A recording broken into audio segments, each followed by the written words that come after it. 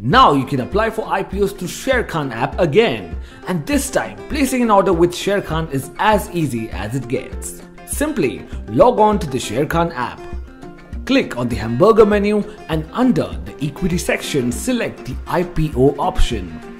From the list of current IPOs, select the IPO of your choice. On the application form, Fill in the details such as your demat account number, category of IPO, number of shares you wish to apply, and your UPI ID. Read and accept the terms and conditions and click on the submit button. Recheck the filled in details and click on the confirm order button. Once Sharekhan receives details about your bid, you will receive a mandate to authenticate your bid amount.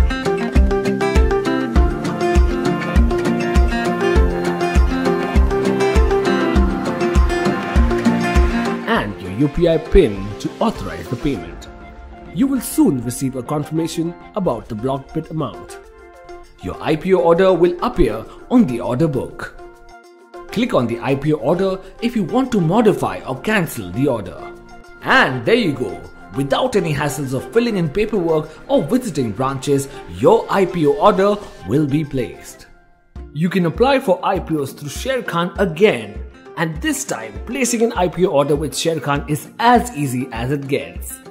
To apply for an IPO, log in to your Sharekhan website. Under the IPO and Other section, select from the list of active or upcoming IPOs. Fill in details such as your demat account number, category of IPO, number of shares you wish to buy, cut-off price, your UPI ID and read the terms and conditions and click on the submit button.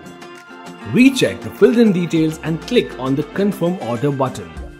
Once Sharekhan receives details about your bid, you will receive a request on your UPI application.